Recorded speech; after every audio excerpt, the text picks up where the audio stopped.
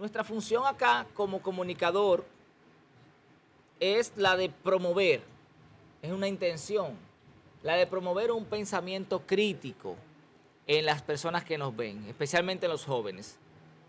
Pero además de eso, un pensamiento reflexivo. Tenemos que ser críticos, tenemos que ser reflexivos.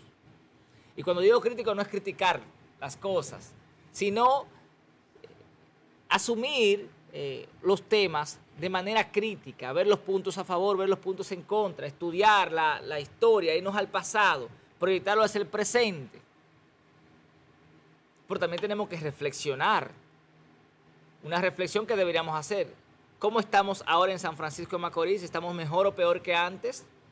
Si lo vemos con un pensamiento crítico y lo reflexionamos, entonces pudiéramos llegar a una conclusión partiendo de las premisas. Premisa mayor, premisa menor. Bueno, un tema profundo. Pero además, al final, ¿qué es lo que buscamos? Crear esa sensibilidad o promover la sensibilidad en las personas. Porque usted, si usted es crítico, es reflexivo, pero no es sensible, entonces no tenemos nada que buscar.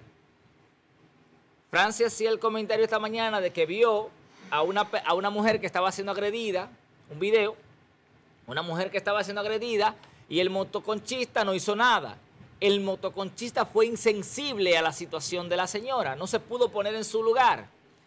De lo que yo he hablado aquí, de la teoría de la psicopatía colectiva. Los psicópatas no tienen la capacidad de ponerse en el lugar del otro, no, no, tienen esa, esa capacidad de ser empático. Y por tanto, yo siempre digo que aquí hay una psicopatía colectiva, porque la gente ve que hay dos personas que se están matando, ve que hay, hay alguien de quien, de quien están abusando y no se mete lo graban. Entonces todo eso es lo que nosotros procuramos. Sabemos que es una utopía, sabemos que es una quimera, pero es mi sueño. Y mi función aquí no es caerle bien a la gente, sino decir lo que uno piensa, porque yo sé que se puede. Y lo sé por la experiencia, porque tengo experiencia de trabajar directamente con juventud, sabemos de lo que es la política de juventud, sabemos cómo se interviene en las comunidades y sabemos el resultado porque lo hemos estudiado.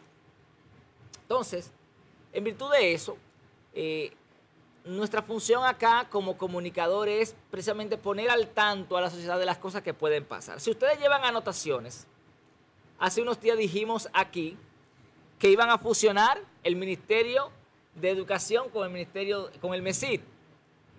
¿Y qué anunció el presidente? Si llevamos anotaciones. También anunciamos aquí que iban, y, tú reclamaste, Francis, que iban a fusionar Hacienda con Economía. Lo dijimos. ¿Qué dijo el presidente ayer? Lo mismo. Pero además, cuando vimos la información que la subió el listín diario de, que iban a fusionar aduana con la DGI, dijimos, eso es, un globo, eso es una mentira, es un globo de ensayo, eso para, para eh, hacer equilibrio. Efectivamente, no lo anunciaron y no va a pasar.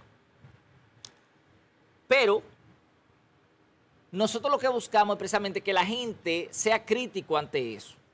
Dice el presidente o el gobierno que van a ahorrar 25 mil millones de pesos. Yo le puedo asegurar, pero claro, si vamos a hacer un análisis crítico y reflexivo, tenemos que anotarlo. Porque si no, van a pasar los, van a pasar los meses, los días, los meses, los años, y luego no vamos a saber lo que dijimos. Anotemos la fecha. Y en un año vamos a volver sobre este tema, a hacer el análisis ¿Qué prometió el presidente? ¿Qué dijo? ¿Qué ha cumplido? Créanme, créanme y anótenlo, no va a pasar absolutamente nada. Porque esto que están haciendo, y es una pena tener que decirlo, esto que están haciendo no es más que una anestesia, no es más que un caramelo, pero un caramelo envenenado para el tablazo que viene. Prepárense, que aquí hay eh, productos que hoy no tienen impuestos y que le van a poner impuestos. Un ejemplo, pero tú lo vas a anotar, Pedro. Anoten el queso. Ustedes verán el queso posiblemente con impuestos, que no pagan impuestos. Y así sucesivamente muchas cosas que hoy no pagan impuestos que van a venir con impuestos. Es decir, que si a usted la canasta familiar se le ha duplicado o triplicado, eso también lo podemos demostrar porque yo tengo toda la factura de 2018, 17, 20 hasta la fecha. Yo voy guardando todo. Podemos hacer análisis comparativo. No, true. se ha triplicado la canasta familiar. Prepárense ahora que la cosa se va a poner peor todavía. Y por eso el gobierno le está tirando a ustedes ese caramelo envenenado. Y usted dirá, no, lo que pasa es que Luis Abinader tiene buenas intenciones. Sí, de buenas intenciones está empedrado el camino del infierno. ¿Quién dice eso? Una frase. No sé dónde dice eso, pero bien. Es para que ustedes vean que eso lo hizo Hipólito Mejía. ¿Y cómo terminó el país? Hipólito Mejía, recuerdo las, la ventana del, Palacio Nacional abierta, de que aquí no se va a utilizar aire acondicionado. ¡Eh! ¿Qué pasó? Luego vino Danilo Medina. Aquí no se va a comprar vehículo de lujo. ¿Y qué pasó? Y luego, otra vez en el 15, Danilo Medina. No, aquí los viajes al exterior se van a reducir. Un bulto. ¿Y qué pasó? ¿Qué dijo el presidente Luis Abinader en, en enero del 24? Por los escándalos que venían, señores, más de 10 mil millones de pesos. Oigan esto, señores. 10 mil millones de pesos en publicidad. Y yo trabajo en un medio de comunicación.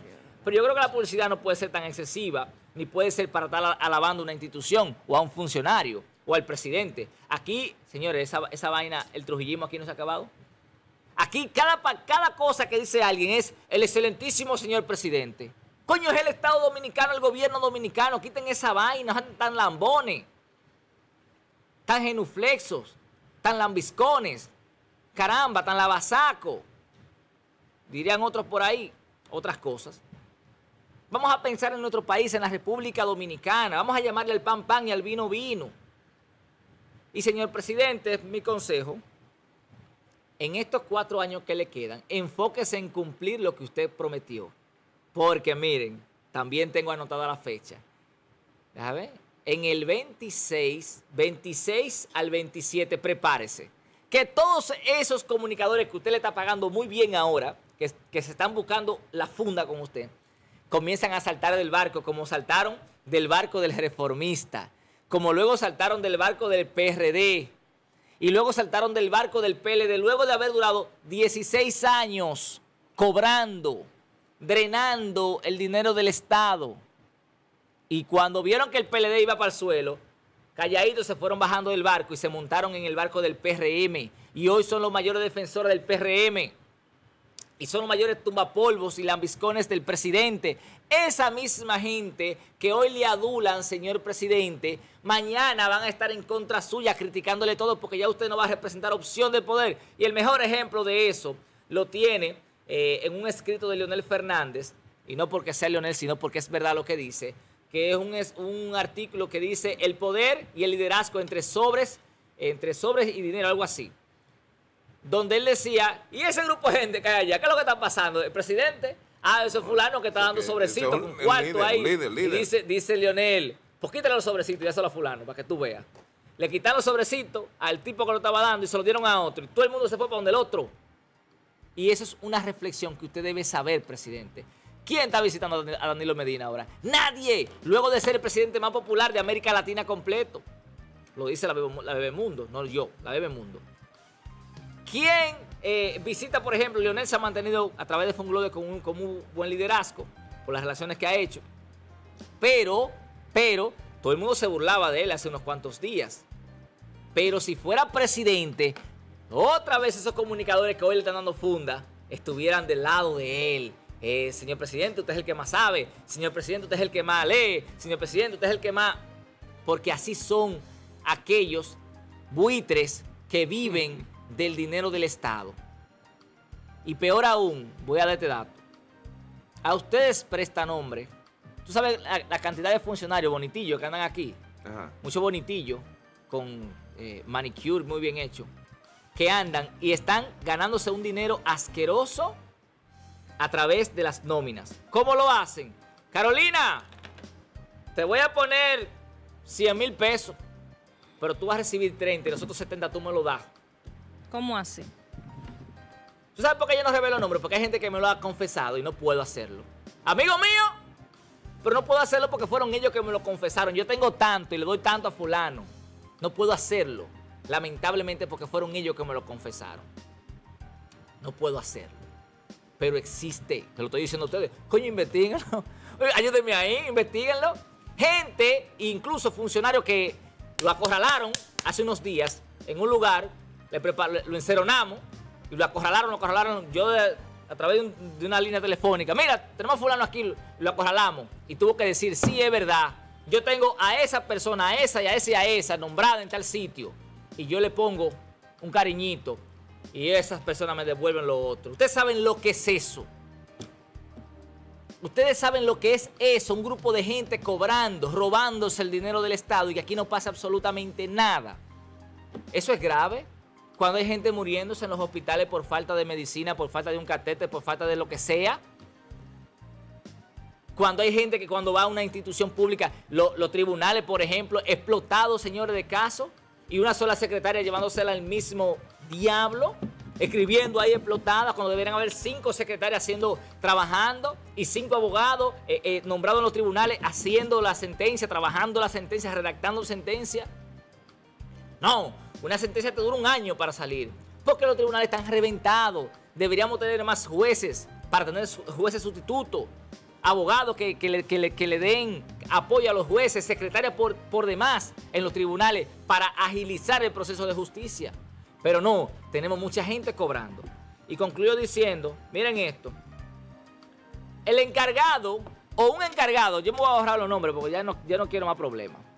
Un encargado de, de comunicaciones del MINER, del Ministerio de Educación, oigan esta vaina, un encargado de relaciones públicas o de comunicaciones del MINER que escribe la palabra comparte con N. Diablo. Cuando yo vi eso, dije, este país hay que cerrarlo. O sea, ¿cómo va a ser que una persona que es el encargado de comunicaciones del, del Ministerio de Educación de la República Dominicana sea capaz de compartir públicamente la palabra comparte con N? que Eso es un momento para decirle, mire, Es usted está cancelado. Es la corrección automática. Mire, usted está El cancelado. corrector no corrige eso. Lo que pasa es que ni siquiera, ni siquiera estudió. Cuando lo investiguen, a que ni siquiera estudió. Bueno. Si profundizan, van a encontrar muchas ¿Sabes cosas. lo que Ahí. tú dices? Que aquí se fue en México. Gracias, Yerjan. Yo no, pues yo voy a hacer pleito aquí, pero a mis hijos yo le voy a abrir. Amable televidente.